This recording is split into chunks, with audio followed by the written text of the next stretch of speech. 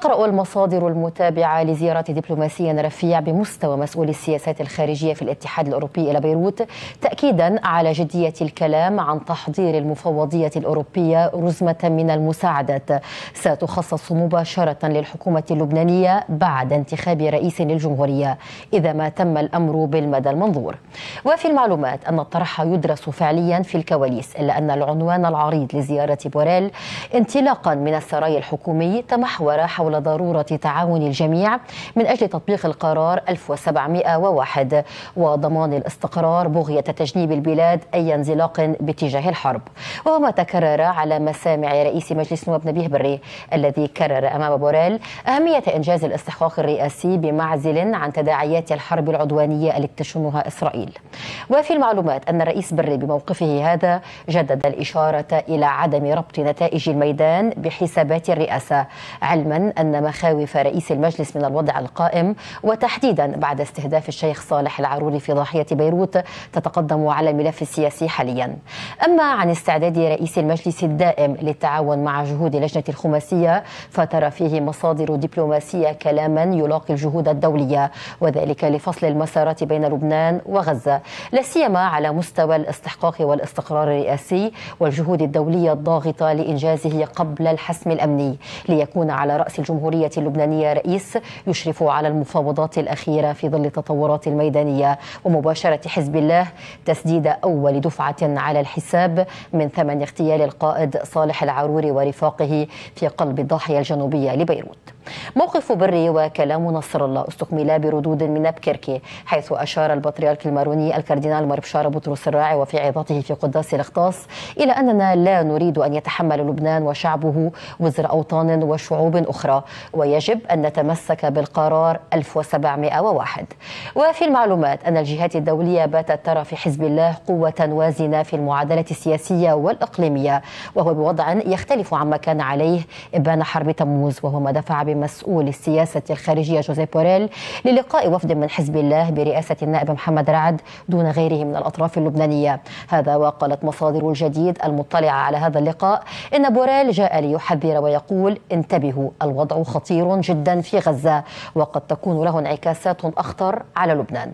وأضافت المصادر أن المسؤول الأوروبي لم ينقل رسائل تحذير إلى أي طرف من حزب الله لكنه كان حريصا على رسم المحاذير وخطورتها قالت وزيرة الخارجية الفرنسية كاترين كولونا بحسب ما نقلت عنها وكالة رويترز إنني أبلغت نظيري الإيراني حسين أمير عبد اللهيان بأن خطر تفجر الوضع في المنطقة أكبر من أي وقت مضى وذكرت أنه يتعين على إيران ووكلائها التوقف فورا عن الأفعال التي تزعزع الاستقرار في المنطقة. أمل رئيس الحزب التقدمي الاشتراكي النائب تيمور جنبلاط أن يكون العام الجديد خيرا على اللبنانيين ويشهد انفراجات سياسية واجتماعية واقتصادية ومالية للخروج من الأزمات المستعصية كما وإيجاد سبل تفاهم المشتركة إزاء القضايا العالقة وعلى رأس أولوياتها رئاسة الجمهورية وإتمام عقد المؤسسات وفي مقدمتها المجلس العسكري. هذا وأبدى جنبلاط في تصريح على هامش استقبالاته الوفود في قصر المختارة تضامنه الكامل مع أبناء الجنوب حيال المخاوف المتعاظمة جراء التهديدات الإسرائيلية متقدما في هذا المجال من عائلات الشهداء بالتعزية الخالصة ومتمنيا للجرحى الشفاء العاجل. عضو كتلة الجمهورية القوية النائب نزيه متى أكد ضمن برنامج هنا بيروت أن حزب الله يسعى من خلال هذه الحرب إلى فرض نفسه كمفاوض عند انتهائها مؤكدا القبول بالعماد جوزيف عون لرئاسة الجمهورية يلي تبين لحديت هلا إنه كل اللي عمله حزب الله لحديت اليوم إنه بس تكون على طاوله مفاوضات تصوري أنت لو عم بيصير بغزة وحزب الله مش محرك ساكن. شو كان صار؟ بكرة بيتفاوضوا حزب الله قاعد عم يتفرج. فات جست لازم يفوتوا بالحرب حتى على القليل يكون على طاوله مفاوضات وقت يقعدوا يتفاوضوا. تيحقق مكاسب حتى ياخذ ثمن من أول نهار. سؤال الحكيم وسؤالنا نحن كنواب بكل المقابلة تبعونا. أنتم داعمين لقائد الجيش نحن بالنسبة لنا قلناها بشكل كثير بسيط. قائد الجيش بده تعديل بالنظام. دستوري صح. إذا الكل أجمع ويتعدل الدستور تيتم انتخاب قائد الجيش نحن مع التمديد لقائد مع انتخاب قائد الجيش. وخلال جولة في سوق بنت جبيل في جنوب لبنان أكد عضو كتلة الوفاء للمقاومة النائب حسن فضل الله أن ليس لنا خيار في هذا الجنوب إلا بناء كل عناصر القوة والتمسك بالمقاومة كما وفرض معادلات الردع في وجه العدو كما فعلت المقاومة اليوم في ردها الأولي على العدوان الصهيوني على الضاحية وهذا الذي يحمي بلدنا ويمنع العدو من التمادي في استهدافه. وأضاف فضل الله ما يجري هنا مرتبط بالتطورات في غزة وليس أمام العدو الإسرائيلي من خيار سوى وقف عدوانه لأنه أمام مأزق كبير يتخبط به. ونحن باقون على موقفنا للمساهمة في صمود المقاومة في فلسطين ومنع العدو من تحقيق أهدافه لنحمي بذلك مستقبل بلدنا وخصوصا الجنوب اللبناني.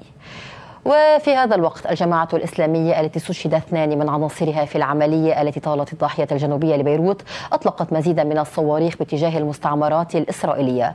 وقد أكد نائب رئيس المكتب السياسي للجماعة بسام حمود وضمن برنامج هنا بيروت أن التنسيق مع حزب الله لا يعني أنهما ضمن المحور نفسه. لابد أن يكون هنالك تنسيق ميداني ضمن يعني كل المقا يعني أذرع المقاومة وتحديدا مع الإخوة في حزب الله. اليوم يحكى عن وحدة الساحات اللي عم يحكي عنها السيد نصر الله وعم يحكي عنها الكل من لبنان إلى اليمن إلى العراق إلى إلى سوريا هل أنتم جزء من هذه الساحات تعتبرون أنفسكم؟